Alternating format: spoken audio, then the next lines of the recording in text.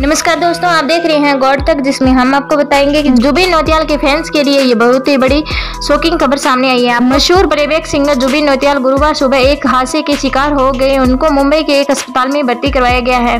जानकारी के मुताबिक, एक इमारत की सीढ़ी से गिरने के बाद गायक की कोहनी और पसलियाँ टूट गई है और उनको सिर में चोट भी आई है। हादसे के बाद जुबिन नौतियाल की दाई कोहनी का गुरुवार रात ऑपरेशन भी किया गया। हाल ही में उनके गाय तो सामने आए मानी के गाने भी सुपर हिट हुए हैं। जी हाँ दोस्तों, आपको बता दें कि जुबिन नौतियाल के फैंस के लिए शॉकिंग खबर सामने आई है। डॉक्टरों ने जुबिन को सलाह दी है कि वह दाएँ हाथ का इस्तेमाल न करें। धन्यवाद दोस्तों, अगर आप भी उनके फ़ैन हैं तो कमेंट बॉक्स में ज़रूर बताएँ और उनके लिए दुआएँ करते रहिए। और अगर आप हमारे चैनल पर पहली बार आए हैं तो सब्सक्राइब करें बेल आइकन दबाएँ, जिससे कोई भी नई अपडेट आप तक पहुँच सके।